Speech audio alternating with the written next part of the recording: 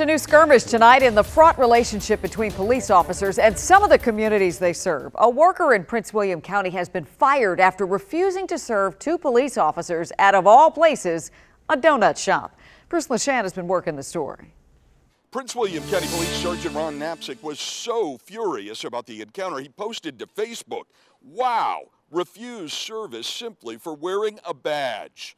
Sergeant Knapczyk and his lieutenant, Shane Ash, supervised school resource officers, and they had stopped into the Dunkin' Donuts in Bristow after making their rounds. Knapczyk says he greeted the young woman behind the counter with a cheerful good morning and was met with stony silence.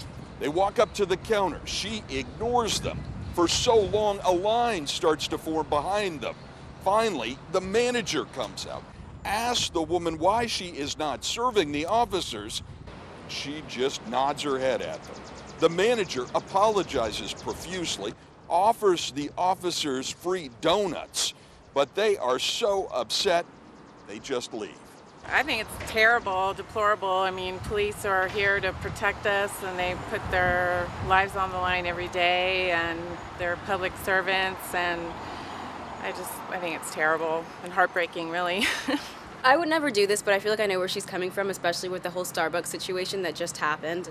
Furious customers are now bombarding this store with negative reviews on Google Maps. The franchisee has apologized to the two officers.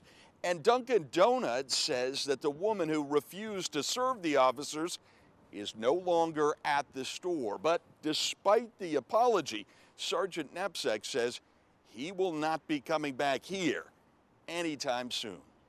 In Prince William County, Bruce Leshan, WUSA 9. A spokesman for the Prince William County Police declined to comment on the controversy. Workers say the woman was a trainee who had only been at that store for a few weeks.